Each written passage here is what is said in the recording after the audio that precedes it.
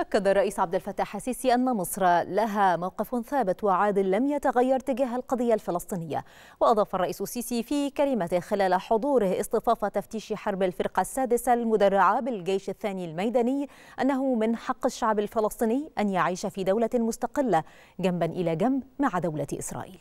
مصر لها موقف ثابت ما تغيرش هو موقف عادل تجاه قضية عادلة هي القضية الفلسطينية. هو كل اللي بنقوله إيه؟ بنقول إن إحنا الشعب الفلسطيني من حقه إن هو يعيش في دولة مستقلة جنبا إلى جنب مع دولة إسرائيل. وإحنا ك أنا أستطيع أن أتكلم مش بس باسمي وباسم مصر أنا ممكن أستطيع أن أنا أتكلم باسمي وباسم كل أشقائنا في المنطقة العربية.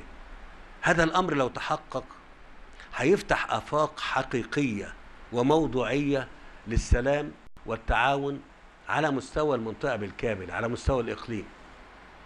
القضية الفلسطينية قضية محورية في وجدان كل الناس. وإحنا بنقول دولة فلسطينية جنبا إلى جنب مع الدولة الإسرائيلية حماية للمواطن الإسرائيلي وحماية للمواطن الفلسطيني.